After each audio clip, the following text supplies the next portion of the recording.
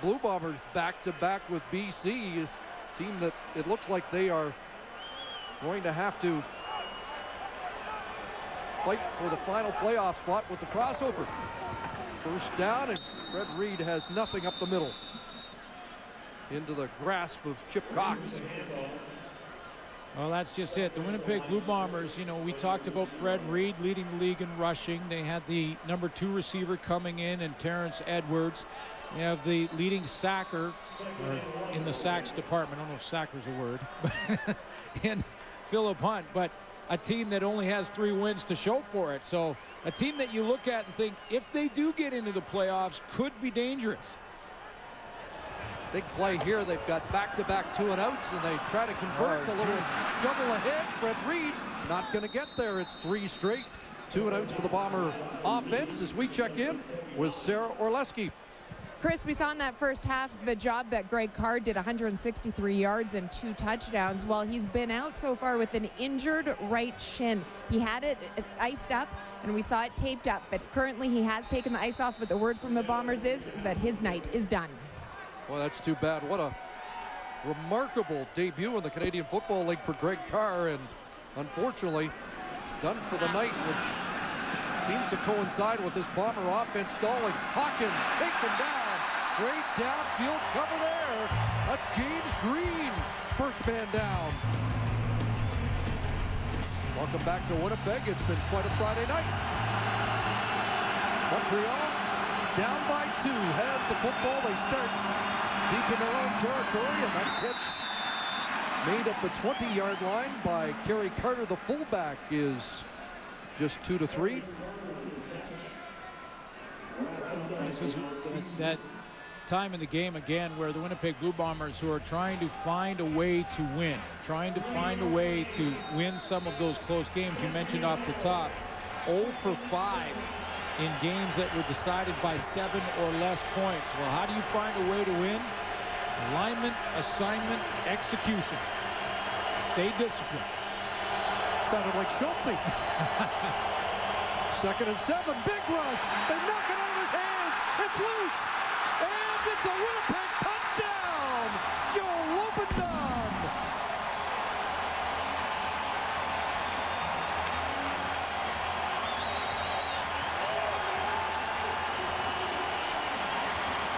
Well, it was one of those defensive ends for the Winnipeg Blue Bombers. I believe Odell Willis. He's going to be on the right of your screen. He's working on Jeff Perrett. Comes around the edge. It is number 40, and he's the guy who's going to strip the ball. Lined up perfectly. Executed his assignment. And the execution outstanding for the Bombers. Well, they've been a sack nightmare this year, and this time a forced fumble by Odell Willis. Lobendahn the touchdown, and we'll get a challenge, and I think I know why. There was a kick there to forward the football, and can you advance it after the kick by off the foot of Dorian Smith is what might be the challenge. Well, well, you can. Now, now let's take a look. Or, or was Trestman wondering if Anthony Calvillo's arm was in a forward passing motion? Here comes the play again. Odell Willis off the edge. I don't think there is no way that he was trying to throw her in a, in a throwing motion, but you can advance the ball in the CFL by kicking it forward as long as it doesn't go out of bounds. So even if this ball is kicked forward, it can be advanced and can be recovered by the Bombers.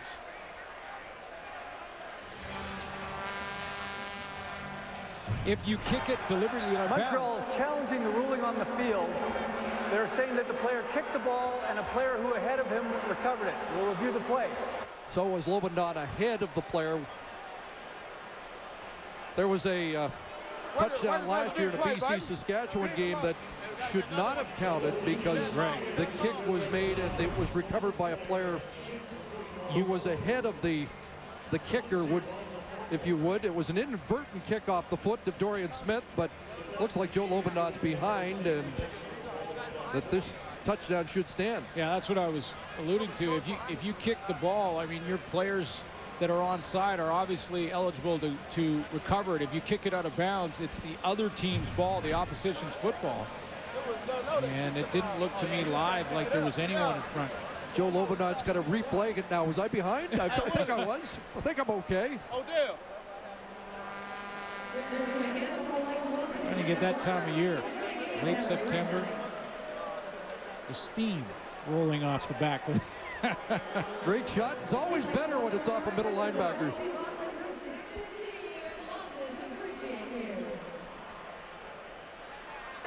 After review, the Winnipeg player did not kick the ball. Ruling on the field stands. Montreal will be charged for second half timeout. Well, it hit his foot, and what they're calling there is that, first of all, Lobendahn was onside. Second of all, Dorian Smith didn't deliberately kick it. It wasn't a kicking motion. It hit his leg, bounced forward, recovered ball, and legal play. And the defense that had had trouble corralling Montreal in this second half has come up with a huge play to tilt this game back in Winnipeg's favor. A nine-point Bomber lead of the Canadian Football League. Rona doing it right. Lots of time left. The way they're scoring tonight, 12-22 to go. But Winnipeg has a nine-point lead. Here's the newcomer, Leroy Van. Up across the 40 before he's wrestled down. Pierre-Luc Labbé, the Quebec City native with the tackle.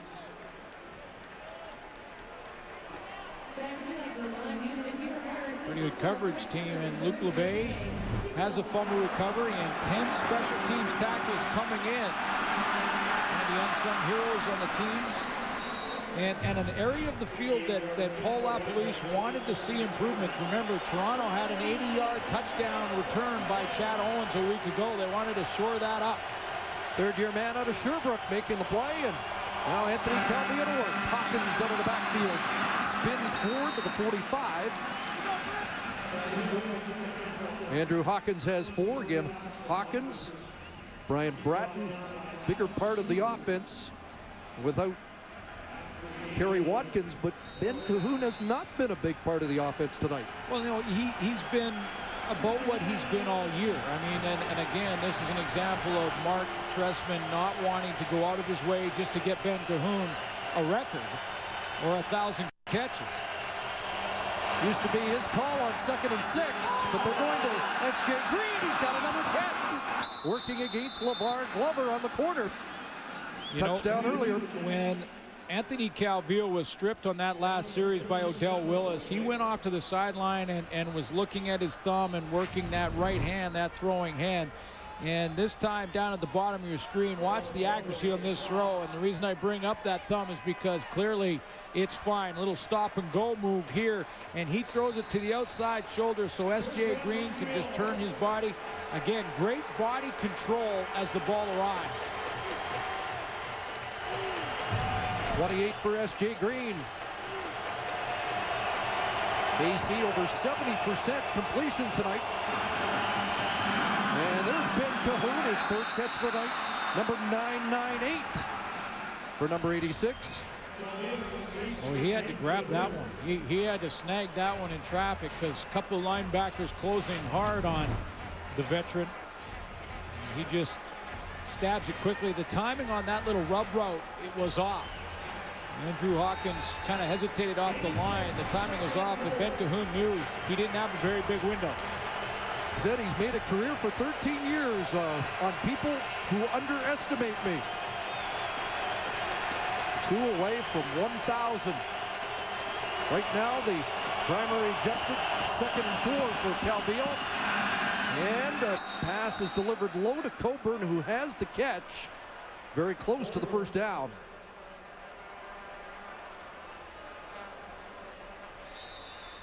Marc Trestman would like to measurement either way just to give himself some time to consider the next couple of plays.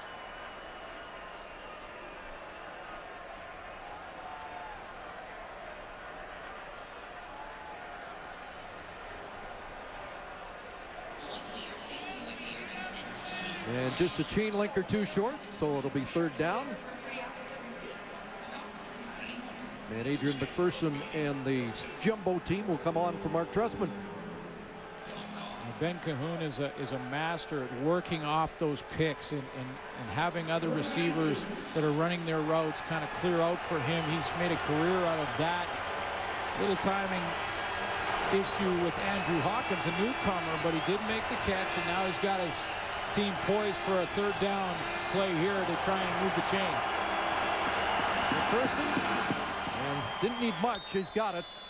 Adrian McPherson, 6'3", 220, falling forward to move the chains. Well, he's right on the doorstep of a thousand catches, and if I were to make a guess, it would be at least half of them off pick plays just like this. Now, we put Kerry Watkins in, who was injured, but this is what he likes to do. If Jamel Richardson for the inside runs his route, he'll pick the halfback, and Cahoon works off that. It could be the wide receiver. In this case, we drew Watkins, but it could be Brian Bratton, and he works off that pick and rub to get back to the outside. Ben Cahoon's made a living off this rub route. Cahoon stays on the sidelines, first and 10, and the screen is knocked down. Odell Willis goes vertical. And he's made an impact here in the second half. Nice dot knocked down there. Let's take a look at where Ben Cahoon is in his great career to join Terry Vaughn, the only two receivers in CFL history with a thousand yards or more. And Ben Cahoon stays healthy throughout this season, he will pass Terry Vaughn. Big play here, second and 10. Hawkins takes the swing, brought down at the 20. Joe Lobendahn drops Hawkins four yards short. You know, Ben Cahoon saw something, and what he saw was a blitz, and had he got the attention of his buddy and his quarterback and Anthony Calvillo, who's saying, blitz coming, blitz coming. That's Jovon Johnson. He goes in the blitz, and Cahoon is now working in some space for, at first down level. And Anthony Calvillo went the opposite way, and they're going to have to kick a field goal. The third and four, trying to cut the lead to six points. From 27 yards out.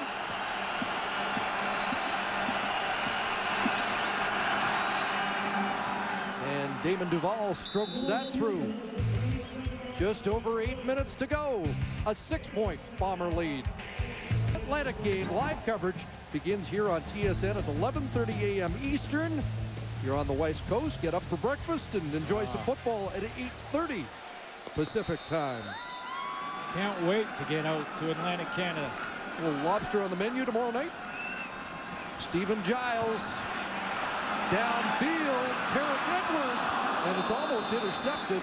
And Corey Watson and Terrence Edwards in the neighborhood and Mark Estelle close by for Montreal. Yeah, I'm not sure one of those two receivers ran the wrong route because uh, play is not designed to have two receivers that close because what it does is it draws another defender into the area. So Steven Jyles was looking all the way to Terrence Edwards crossing the field. I have to believe it was Watson on the outside that was running the wrong route there and bringing a defender with him. So second and 10 from the 35. Jyles directing traffic. Brock Ralph in motion. And Jyles up the flat. Fred Reed wide open, and he's got a first down.